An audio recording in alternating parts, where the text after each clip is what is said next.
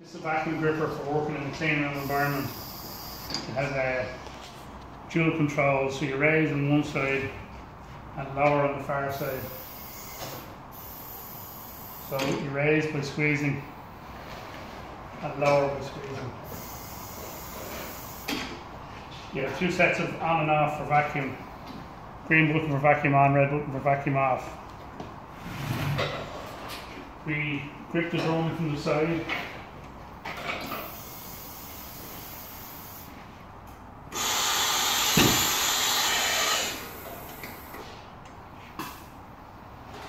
You get a green indicator, green light indicator saying that the vacuum has been made.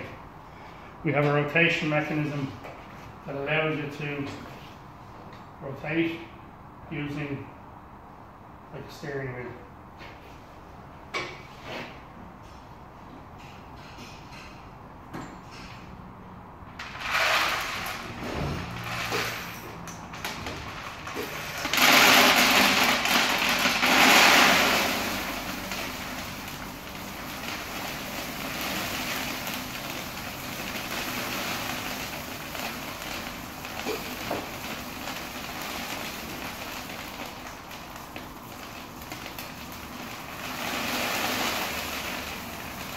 Can rotate in a controlled fashion will stop and the, the rotation will lock into position. Can adjust the height up or down and then rotate again.